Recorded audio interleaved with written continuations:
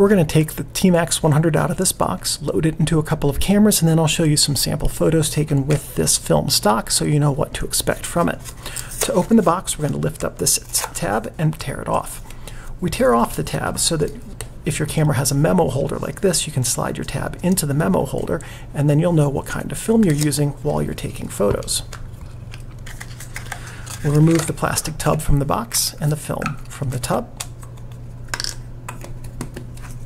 Here's the 100 ISO T-Max 35mm film.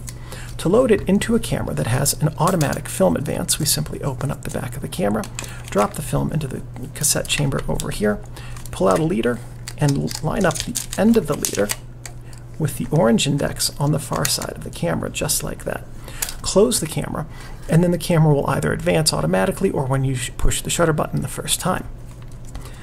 Some cameras like this that have an automatic advance also have some silver pins right here that read the DX code on the 35mm cassette, and that will tell the camera what speed film you're using. If your camera does not have DX code pins like this one does not, you will need to manually enter that yourself. ASA and ISO are the same number. This is a 100 ISO film.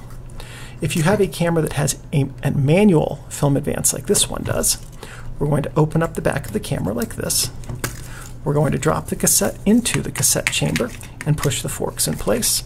Pull out a leader and feed it into the take-up spool. Next, I'm going to hold, oops.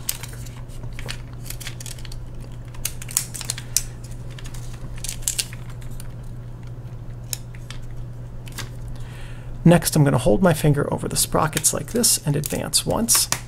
We can now close the back of the camera.